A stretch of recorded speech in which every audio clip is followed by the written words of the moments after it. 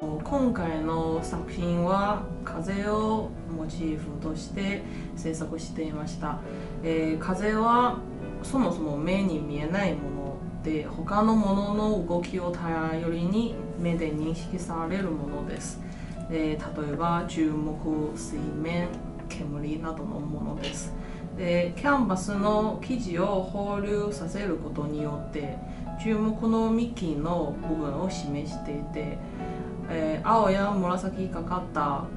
グラデーション色が煙のように目の前で常に動き変化してるのような感覚を与えたいです。煙の輪郭の周囲の部分は描く時は意識的に不定形にし生地を残している表す注目の幹との関係を調和させるようになってで画面下の部分に作った余白の部分だけれどもくぼみと地面を区別するためにそれが隣接の輪郭とくぼみの中にあった注目の断片を提示しています。そういう画材の方はあの弱いのだけではなくて石膏や鉄粉とかそういう他の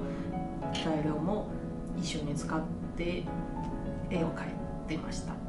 画面を向いているそういう瞬間は風はそういう自分の方までに吹いてくるそういう感覚を感じていただければ嬉しいなと。